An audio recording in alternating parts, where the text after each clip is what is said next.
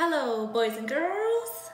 This is Lena and I am back. I hope you're enjoying bananas so far because I think I love it. I am here today for you guys with a very interesting video.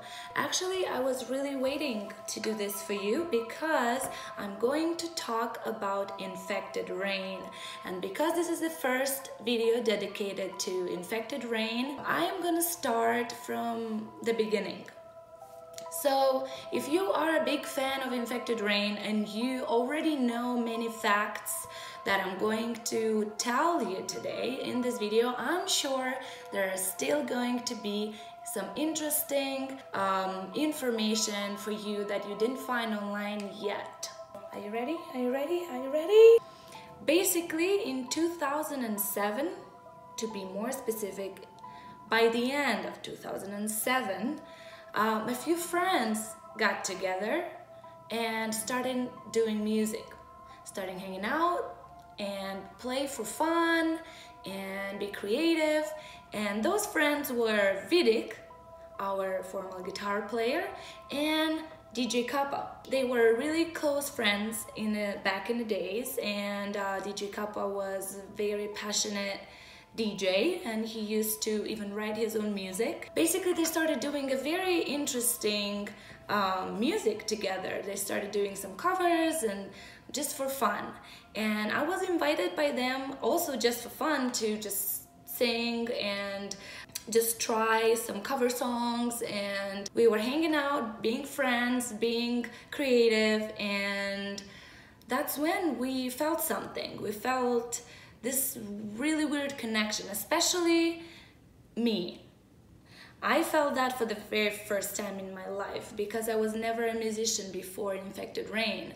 And before this get together, whatever we were doing.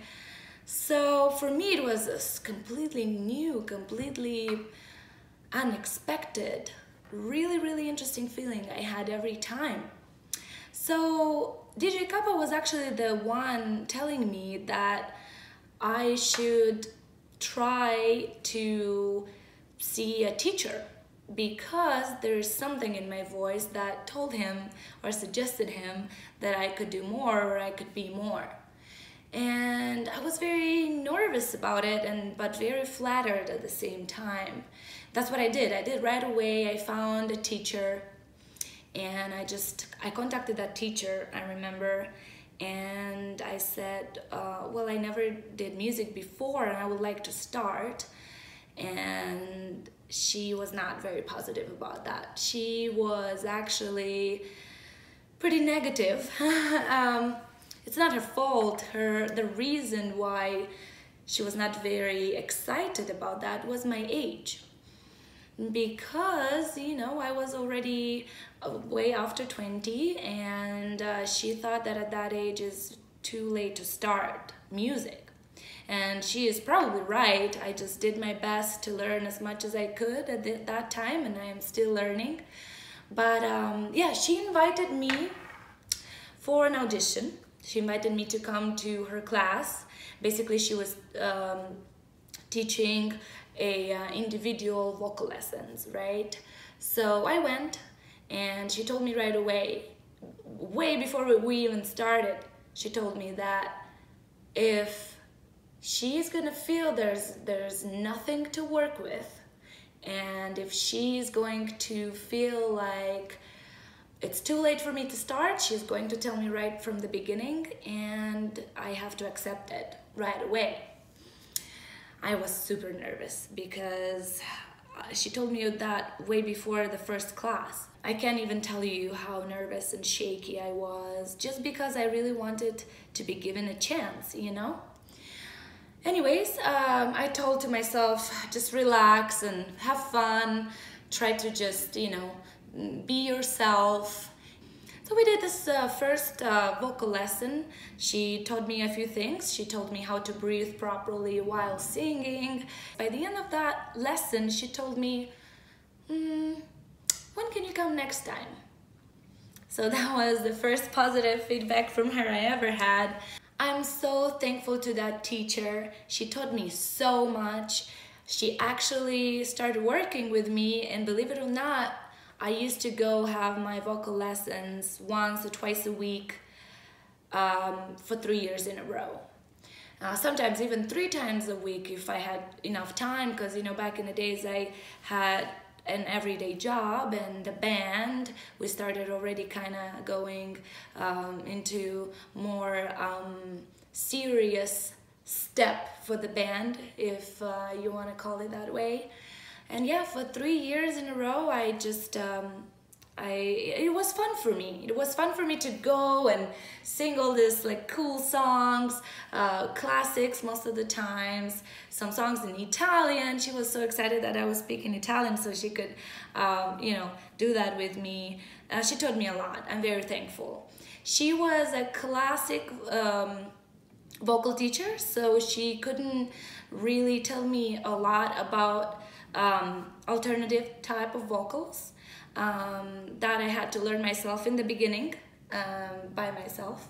But thanks to internet and YouTube, I you know I tried many tricks and many things, and of course I didn't learn right away, but I I tried a lot and I fell. I would um, just have very bad voice after a few rehearsals. I would um, you know, even ruin my voice, but that's when I knew that I was doing something wrong, you know. Later on, I discovered Melissa Cross and her DVDs with her Zen of Screaming, and I ordered them right away. And I started, you know, studying her technique, her type of vocalizing, and many things made more sense to me, way more sense until uh, 2013 when I finally had the opportunity to have an actual lesson with her. So I was I visited her in New York City and I had my first lesson with Melissa Cross and since that day I am very loyal to her and I try my best to learn from her as much as I can and to visit her as much as I can. We became very close and that makes me super happy because she's not only a vocal teacher she's also um, such an amazing person and she inspires me so much. She believes in me so much. Thank you melissa cross if you're watching this. Um, anyways i um, told you a little bit about my vocals and a little bit about how i started singing but i want to go back a little bit in time to tell you a little bit about my boys, my musicians. So as I told you already, you know that the uh, two people that created Infected Rain are Vadim Vidick, which is the guitar player with the cool dreadlocks, and DJ Kappa. We had him in the band for the first few years. Unfortunately, later on, he moved on with his life and changed uh, the country um, and changed um, many things in his life. So he had to leave the band. But in the beginning, he was he was one of the first.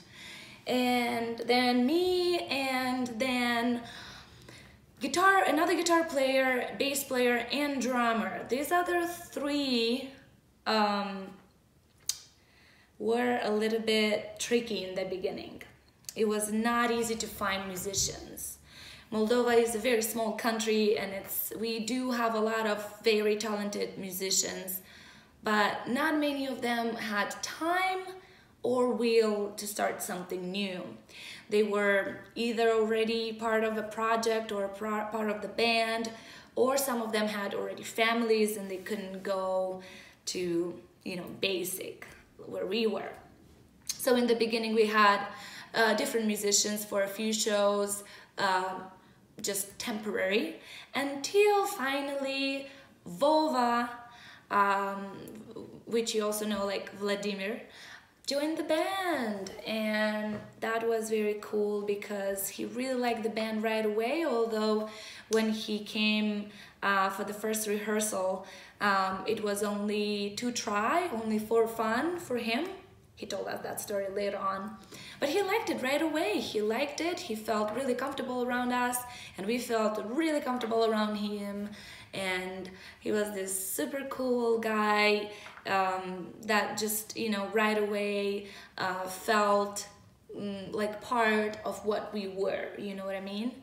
And after just a little bit uh, we uh, found i found out i didn't know right away uh, i found out that he has a brother that is a guitar player and we decided to you know to see if he was interested in uh, playing for a band. And it turned out that he was an amazing guitar player. And he used to play in um, a few other bands before but just for a little bit because he is the youngest uh, in the band. And yes when he came to our first rehearsal he was so prepared. And he knew all the songs and he would play them so clean so well and I also thought that it's so cool that him and our bass player are brothers. So Sergey was the next one joining the band. And at that point, it was five of us. Our um, drummer at that time was uh, Vadim. He also had to leave the band, unfortunately, a little bit later on after we recorded our first EP, after we recorded our first album, after we filmed our first music video and the second music video. He had to leave the band because he was moving to a different country with his family. It was hard for us because we felt so good with him. We had to just stop with the band and find somebody at that point, we were good friends with this super amazing uh, guy. He was a sound engineer and he recorded our first album, Asylum, in the uh, recording studio where he was working. His name is Valentin, and some of you guys already know him because we are friends still these days, and he produced all our albums so far. And we invited his brother, that was a drummer, to try to join the band. He, we invited him to be part of this crazy family. Um, Eugene is the brother of uh, Valentin. And as you can tell, Moldova is a very small country and many people are just either siblings or relatives or they just really know each other really well because they played in bands together. Uh, Eugene was a tough one. He was a tough one. He was not on the same page with us right away. He tried one time and he said, I don't know, guys. I feel like time is passing so fast. I don't know if this is what I want to do with my life. He was such an amazing drummer, even back in the days. I wanted him in the band so much. He was a very cool guy and, and we were so good together and I felt like that could be a connection, that could be something between us, you know, like all of us kind of felt comfortable around each other. I was like, no, no, no, I don't know, maybe, I will think about it. but finally, finally, he said yes, and finally, I guess time had to pass a little bit, even for him. Maybe something changed in his life as well. I don't know why and how come, but he accepted. And starting from the second album, starting from the music video Me Against You, Eugene joined us as a drummer.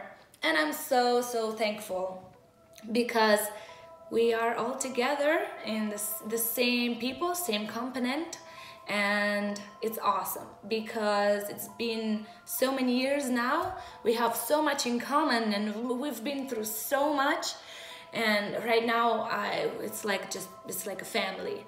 We argued a lot we used to fight a lot we used to have um, a lot of happy moments together as well. And we used to be creative together. And this is who we are now after 10 years. Basically you can tell that Infected Rain is 10 years old now and I'm very proud of who we are. I'm very, very proud of where we are as well. And I am proud of every and each one musician from my band. Every tour together, every show together, every music video, every album we are here for you and every musician is there for me and I'm there for every and each one of them. And I want to tell you this is all thanks to you.